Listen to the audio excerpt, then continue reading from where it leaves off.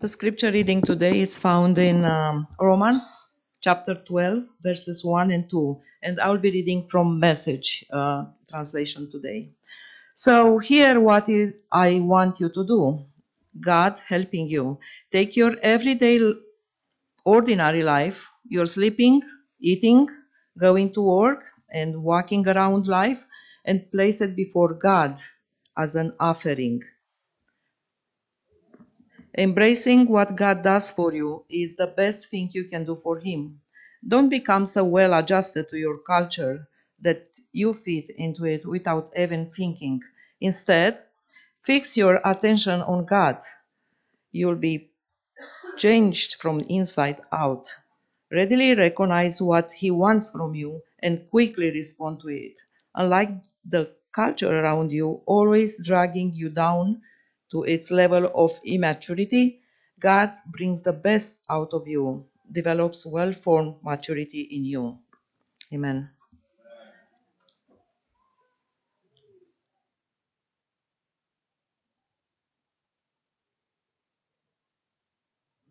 Okay, good morning. I'm going to try to see if this will get ready for us here this morning.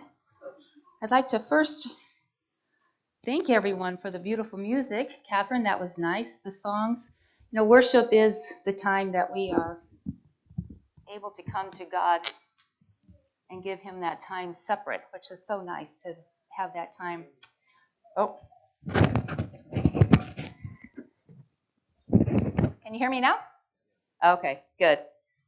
First of all, there's a couple things I'd just like to ask first, and that is, you are all my family. I am so grateful you're all here. Second thing is, is as Pastor Skeek always asks, he has two things. He has three, but I'm going to ask two of them.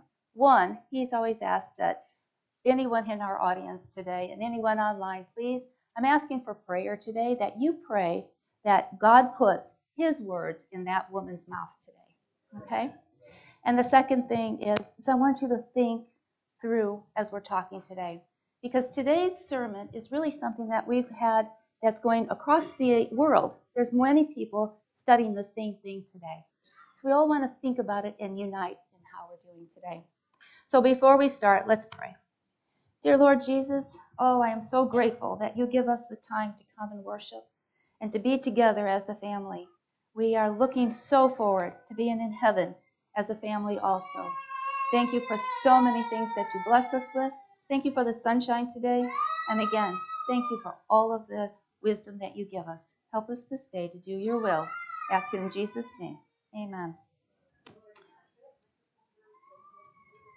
I don't know. Could you turn that one off?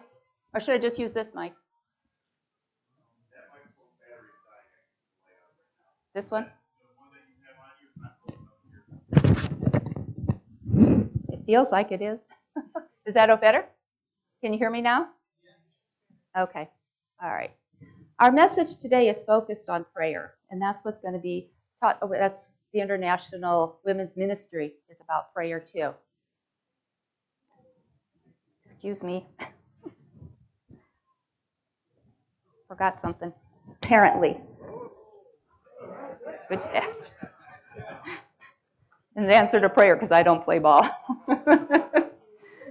okay, great. Okay, and the, what we're going to really talk about is this idea of transforming prayer and how it does. But before we go too far into our uh, sermon this morning, I'd like to just stop and look at one characteristic specifically about prayer. So the first question is when is the best time to pray? Anytime. Okay. It's best time to pray morning, noon, night. Okay, let me give you a quote from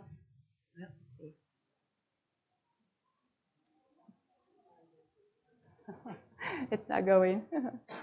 okay. Well. All right. Am I pointing it the wrong way or something?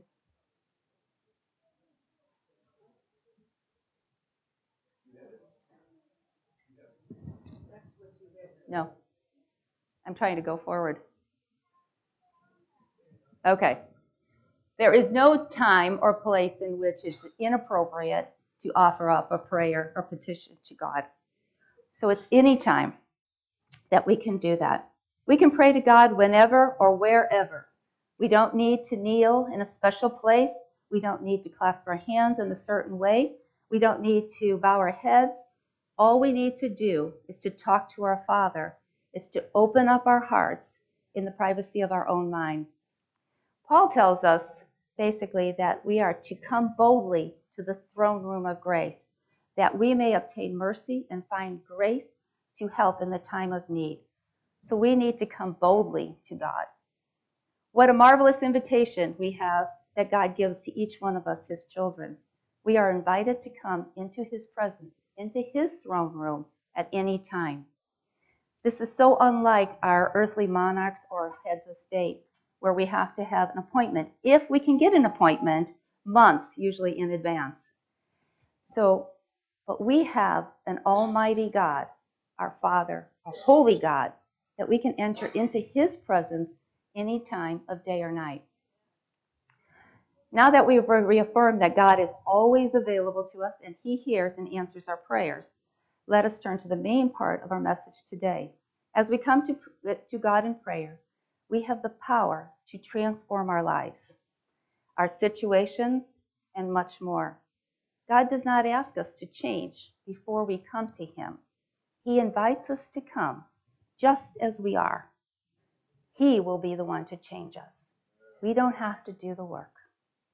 He tells us so all of us who have had the veil removed can see and reflect the glory of the Lord. And the Lord, who is in the Spirit, makes us more and more like Him as we are changed in His glorious image. Did you know that prayer can change our lives? We've seen that happen in many, many occasions. But prayer can change situations and it can change us. As we look to meet our Father in prayer, the Holy Spirit changes us into the glorious image, and that image is the glorious image of Jesus Christ.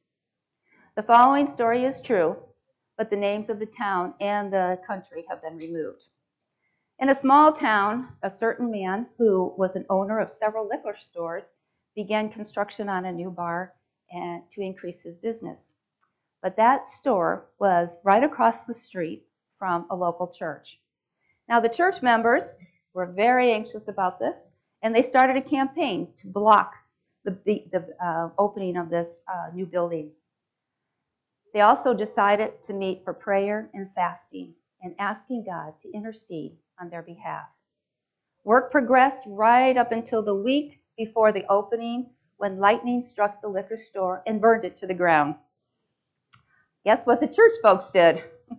They rejoiced. They were very happy until the owner sued the church on grounds that the church was responsible for the demise of the building, either through direct or indirect action. The church strongly denied responsibility for any connection to the building's end, and as they replied to the court. Now, at the end of the trial, the judge commented about this. He said, I don't know how I'm going to decide this case. It appears that we have a liquor store owner who believes in the power of prayer. However, we have a church congregation who does not. We'll come back to the story a little later. Whether we believe it or not, prayer does change things in our lives. I don't know about you, but I've had people praying for me, and I am so grateful for those prayers. At the time, I didn't know, but God did act and He interceded for us. Today, we're going to look at two different ways of prayer transforming us. First of all, it does change us. It changes us, it changes situations. And prayer that changes us during hard times. When we spend time with God in prayer, sharing our heart and seeking His saving power, He works in us, changing us into the image of Jesus. Each day when we come to Him in prayer, he renews and changes and fills us with the fruits of the Holy Spirit. And I don't know about you, but I need those fruits of the Holy Spirit, especially that love and that patience that comes with it. The infilling of that gives us what we need to have to face the unknown day with confidence. We don't know what will happen when we get up in the morning, and we don't know. Nothing is positive or nothing is uh, for sure. So we have to have that confidence that we need. We are assured that we are not alone and that we can function when we have Christ walking with us. This strength is not ours, but it is God's strength, and we go forward with His strength. Here are some ways that God can change our lives. First of all, God gives us the cleansing and eternal life. Forgiveness, cleansing, and eternal life. John tells us in, it says, if we confess our sins, he is faithful and just to forgive us our, of our sins and cleanses us from all unrighteousness. We can approach the throne room of God seeking forgiveness and cleansing, asking Him for a new heart to serve Him and to have the confidence that God will hear and answer our prayer. The moment we ask, God starts His transforming work in our lives. He doesn't wait. As soon as we're ready, He's ready to do His work too. He removes all of our sins and cleanses us from the ugly scars of sin. We don't need to walk around feeling guilt or regret. We don't need to be ashamed for others to see us because we have these sin wounds. But when we come to our Father, confessing our sins and seeking His righteousness and His forgiveness and His cleansing, He takes our sinful heart, gives us a new, clean heart. Like David, we can say, Purge me with hyssop, and I shall be clean. Wash me, and I shall be whiter than snow. This change happens when we pray because Paul reminds us it is with his own blood. Jesus entered the most holy place once and for all, having obtained eternal redemption. We can be changed through the blood of Jesus Christ and receive the promise of eternal life. What a wonderful gift that is for each of us. And again, all we have to do is come to Him and He will do the changing for us. God also changes our attitudes. I don't know about you, but I need that most of days. Paul writes, Let this mind be in you, which was also in Christ Jesus, who being in the form of God, did not consider it robbery to be equal with God, but made himself of no reputation, taking the form of a bondservant and coming in the likeness of men. And being found in the appearance of man, he humbled himself and became obedient to the point of death, even to the death of the cross. When Jesus came to this earth as a suffering servant, he did not think life was unfair. How many times do we think life is unfair? I can't go any further. This is not right. But Jesus came to this world and never thought twice about it. He surrendered his will, his mindset, his attitude to his Father. And we must do the same. When we surrender to God, we see life differently. And that's because our attitudes have changed. Naturally, we are self centered. Selfishness kind of runs in all of our blood all the time. So we do need to be transformed into the image of Christ. He came to serve and not to be served. He came to do his Father's will. Do we have the same desire on a daily basis? To serve, to see other people as other people are seen by Jesus? When we are willing to change, we will see the drug addict lying on the pavement, and rather than looking down and saying, How'd you get yourself into this mess? Our hearts will be broken, and we'll see a child of God who needs help. When we we will also start to see the good in people instead of seeing their errors or talking about what they did wrong. When we are driving simply and somebody cuts us off, instead of yelling at that person, our attitudes will be changed. And what we'll say is, God, please help that person get to where they're going safely and protect everyone around them. God changes our attitudes and the circumstances to what happens in life and people that we meet, and it allows it, He allows us to see them differently. And that's what we want to do. We have confidence that God will hear our prayers also. John writes, Now this is now this is the confidence that we have in him, that if we ask anything according to His will, He hears us. Amen. Isn't that wonderful? Again, we don't have to do anything special, we just have to talk to Him. How many times have you prayed and wondered whether God would answer your prayers? Sometimes you wait for the results to decide if God is trustworthy. But this verse clearly tells us that if we ask anything of God and it is His will, He will hear us and He will answer. How do we know God's will? Sometimes it's hard to know God's will, but the Bible does tell us God's will. We know that it's God's will for us not to kill or hurt anyone, right? We know that it's God's will that we don't lie, cheat, steal, covet. Luke 6 35 tells us also that we are to love our enemies and do good to them. However, sometimes we don't know what God's will is. Does God want me to have a new car or buy a used car? Does God want me to go to school? Does He want me to stay home? Does He want me to get married? Does He not want me to do this? We have all these questions that we have. However, many times we just have to trust that He will guide our lives. He's in charge, and we need to trust Him. Psalms 32, verses 8 and 9 also tells us, I will instruct you and teach you in the ways you should go. I will guide you with my eye. He's always watching us and keeping with us. He says, Do not be like the horse or like the mule, which have no understanding. We are to have understanding. He has given us a brain to think, to understand, and to apply the principles that we have learned in His Word in our lives. So we have to do some work on it ourselves to study and understand what He wants. He hears if we ask according to His will, not ours. When we pray, we trust that God, who knows the end from the beginning, or the beginning from the end, will also take care of our lives the same way. He will guide us if we will hear Him and do His will. We ask, but we let God know that we are leaving the answer to His perfect will to make the final decisions for our lives. In Luke 18:1, it also says that man ought, always ought to pray and not lose heart. We are to be persistent. He wants us to continue to pray, not stop praying. And we can't give up. So we want to keep going with our prayers. God doesn't tire of our prayers either. He's willing to listen to any time. God's time is not the same as ours, also. Prayers are answered. However, we've got to be patient and know that it's in God's time. Because again, He's working with many different people and many different situations. So we don't know all the work that He has to do.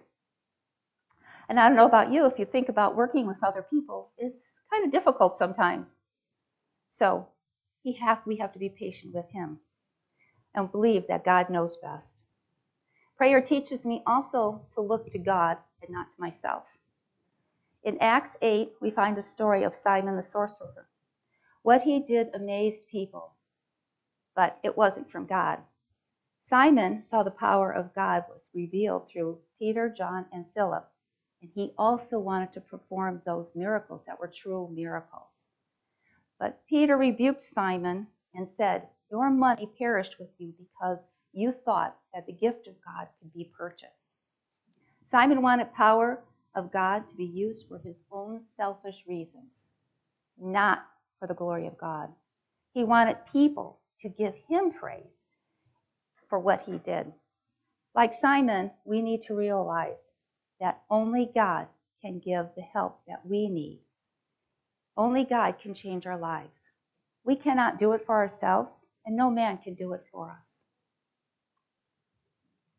It is not about what I can do. It is not about what I can do. It is about what God can do in and through me. Most important part of this, I see, is to help and bless others. It's not about me, it's about what God needs me to do. Prayer also renews my mind. Paul writes, I beseech you, therefore, brethren, by the mercies of God, that you present your bodies a living sacrifice, holy, acceptable to God, which is your reasonable service. And do not be conformed to this world, but be transformed. Again, he's looking for us to change and to transform, and as we said earlier, into the likeness of Christ.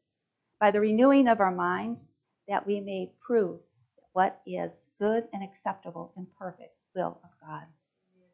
One of the remarkable things about prayer is that prayer restores our minds. Only God can change the way we think about life, about ourselves, about others, about the future, about anything that's going on.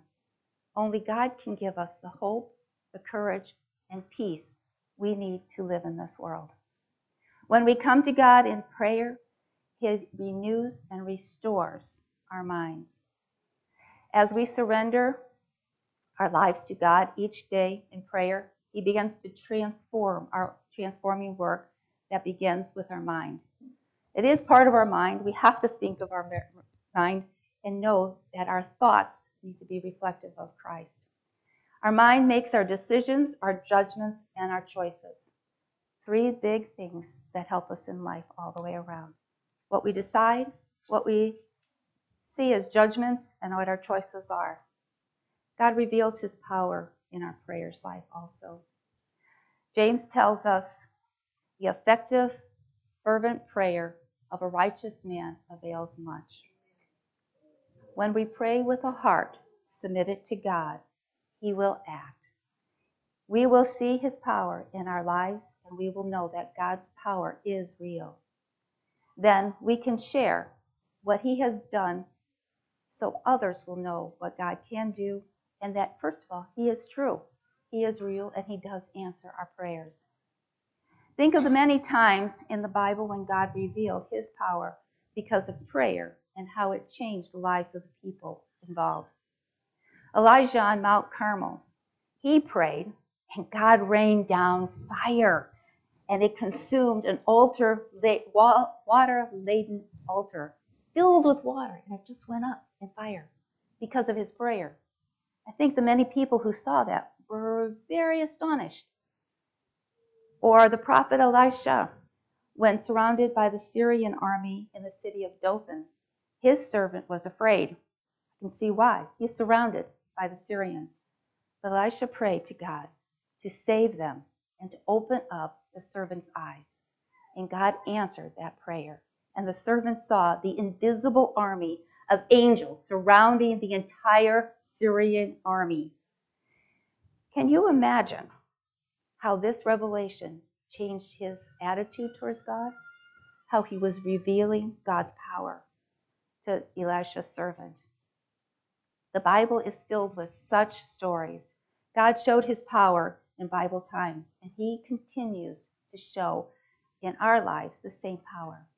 However, we must recognize the working of God in our lives in both small and big ways. Sometimes we pray and we don't want to recognize what God does, but we have to think about what that is. In difficult times, prayer changes, and sometimes God must allow us to face these difficult times so that we can really know that He is the source of all help for us. In these trying times, we learn to depend fully on God our Father. God is waiting to hear us cry out to Him sometimes and say, Father, I need you. I can't do this on my own. These are the times when God increases our faith and changes us. Let us look at two Bible stories now about prayer that changed the lives of people during very difficult times for them. The first story is about a woman in, in 1 Samuel chapter 1, we find the story of Hannah, a woman of great distress and emotional pain.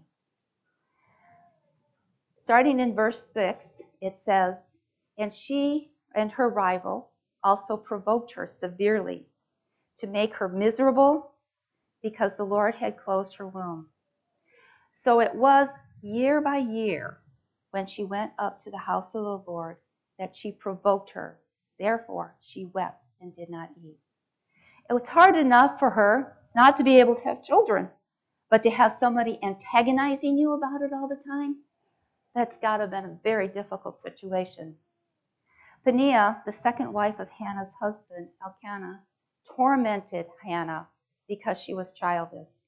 When Hannah could no longer handle the taunts, she went to God and cried out to him. Verse 10 says, She was in bitterness of soul and prayed to the Lord and wept in anguish. Her distress was so great that Eli, the priest, who was sitting at the uh, entrance, thought she was drunk. Can you imagine the look on her face as she prayed to God to help her with this dilemma that she was in? When in distress, we do not consider how we look or what others may say. We are in God's throne room, and the conversation is between us and our Heavenly Father, and it is personal. God's heart went out to Hannah, and He heard her cries, and He answered her prayer. He gave her Samuel, the son that she had prayed for.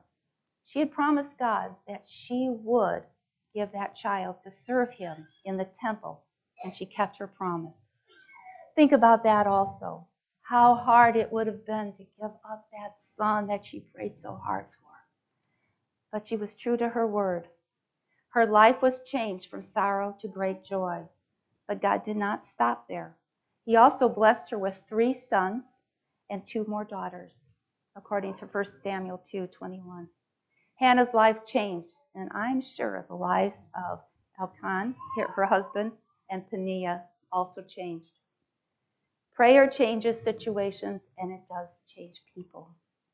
In Acts 12, we find another story about two of Jesus' disciples, James and Peter. First, King Herod killed James, the brother of John. That pleased the Jews so much that Herod decided he would imprison Peter with the idea that he would also be killed soon. The church had a prayer meeting in the home of Mary, the mother of Mark, to pray for Peter's release. And God heard their prayers also, and He answered them. He sent an angel to guide and safely bring Peter to the home of Mary, where the believers were. In verse 13, it says, Peter knocked at the outer entrance, and the service servant named Rhoda answered the door. When she recognized Peter's voice, she was overjoyed and ran back without opening and exclaimed, Peter's at the door. And she told them, Peter's here. Peter's here. She's all excited. Verse 15, though, tells us the reaction of the people who were praying for Peter's reaction, release. You're out of your mind, they told her. When you kept, and then she kept insisting that it was so. They said, It must be an angel. And again, they were praying for God to release Peter. However, they didn't believe that God was going to answer those prayers. The reaction of believers, the, the believers when Rhoda told them to Peter's, was very interesting and very unbelievable, since this is what they really were looking for. Wasn't it what they wanted? Yet they doubted over and over that Peter was not at the gate. This reminds me of the story we started at the beginning of this message the liquor store owner and the church members. When we pray, do we believe God will answer? And when God answers, do we believe He answered? Or do we try to figure out a more concrete or logical answer, never really believing what God did for us? Do you remember the store? Do we resemble the store owner who believed that the church members' prayers were responsible for the store burning down? Or do we look like the church members who denied their prayers had anything to do with the store burning down? I can't imagine what it was to that court and how those people could have, at some point, claimed that their prayers did have something to do with that, and how many people would have started to believe in prayer. Each day when we wake up, do we wait until the trials come to cry out to God to do and to seek for what the day will bring? Or do we seek Him on a daily basis in prayer, asking for His strength, His joy, His courage to face whatever the day may bring. Before we end this message this morning, Mary is going to read an important quote from the steps of Christ for us this morning.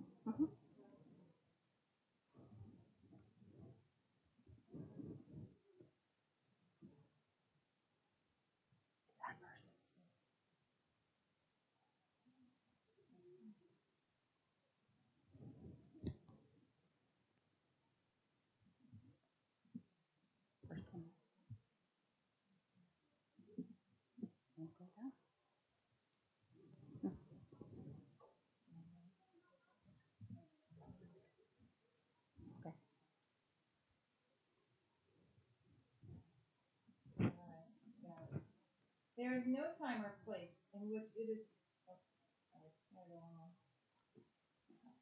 Oh, each day when we wake up, do we wait until trials come before we cry out to God? Or do we seek Him each day in prayer, asking for His strength, His joy, His courage to face whatever the day may bring? Before we end this message, oh, wait. Hey, me. I messed up. There is no, yeah, sorry. There is no time or place in which it is inappropriate to offer up a petition to God. There is nothing that can prevent us from lifting our hearts in the spirit of earnest prayer, in the crowds on the street, in the midst of a business engagement, when we are all alone and feeling rejected by others we may send up a petition to God and plead for divine guidance and help, as did Nehemiah when he made his request before King Xerxes. A closet of communion. A closet of communion may be found whenever we wherever we are. We should have the door of our heart open continually and our invitation going up that Jesus may come and abide as a heavenly guest in the soul. Although there may be a tainted, corrupt atmosphere around us, we need not breathe its miasma, tainted air, but may live in the pure air of heaven. We may close every door to impure imaginings and unholy thoughts by lifting the soul into the presence of God through sincere prayer. Those whose hearts are open to receive the support and blessing of God will walk in a holier atmosphere than that of earth and will have constant communion with heaven. Ellen G. White, Steps to Christ, page 20, uh, 99.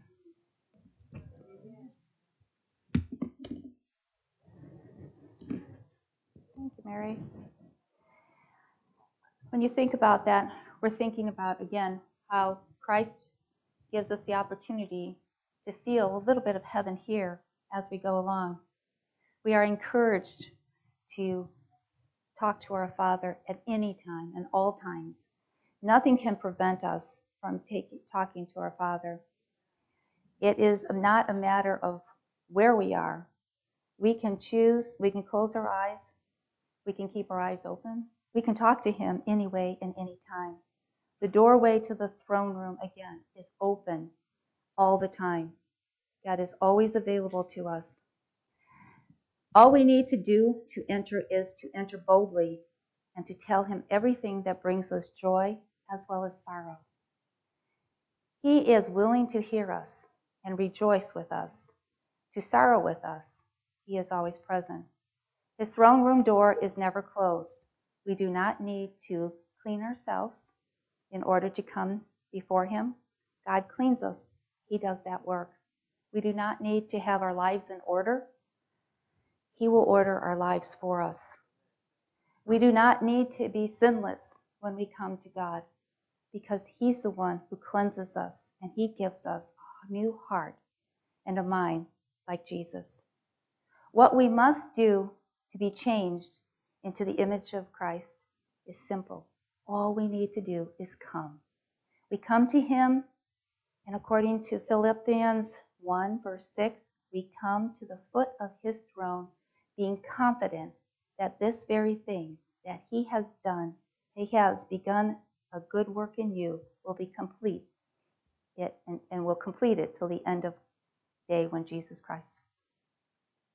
God has promised and he will do it. What about you today? Are you ready to ask God to renew your heart, your mind, and your life today? We all have regrets in our lives, and we all have things that we wish that we didn't do, things we didn't say, things, decisions that we didn't make. But in the throne room, in God's throne room, there is hope for a new beginning.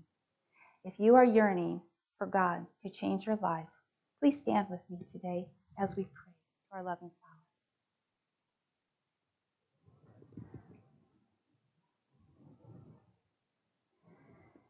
Let us bow our heads. Lord, we come to you in prayer this morning. We surrender our lives, our wills to you, for we want to be transformed into the image of Jesus Christ, our Lord and our Savior. We ask that you help us grow in our prayer life, that we may see how you intercede for us. You guide us, you help us through every moment, with every breath your mercy, we can come to you, to your throne room, and receive your grace and to help us in our times of need. We want to be transformed to serve as you want us to, Lord. Let us focus on your will and not ourselves, so we may receive your continuous blessings. Open our eyes that we may see your glory in every day, in every person in every action that we have. This is what we ask in Jesus' name. Amen. Amen.